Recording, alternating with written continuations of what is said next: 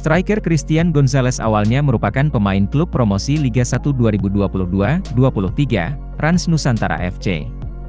Akan tetapi melalui Instagram story-nya pada kami, 8 September 2022, Gonzalez telah mendapatkan klub baru. Pemain sepak bola profesional Christian Gonzalez diketahui bergabung dengan PSIM Yogyakarta usai hengkang dari Rans Nusantara FC milik Raffi Ahmad. Dalam tayangan di YouTube Trans TV Official belum lama ini, Christian Gonzalez bersama sang istri, Eva Gonzalez membongkar alasan meninggalkan klub bola Raffi Ahmad. Christian Gonzalez rupanya tak terlalu memusingkan permasalahan yang menimpanya, namun Eva Gonzalez sampai dilarikan ke rumah sakit akibat permasalahan itu. Usut punya usut, perginya Gonzalez dan Rans FC adalah karena ada oknum yang melakukan fitnah terhadap keluarganya.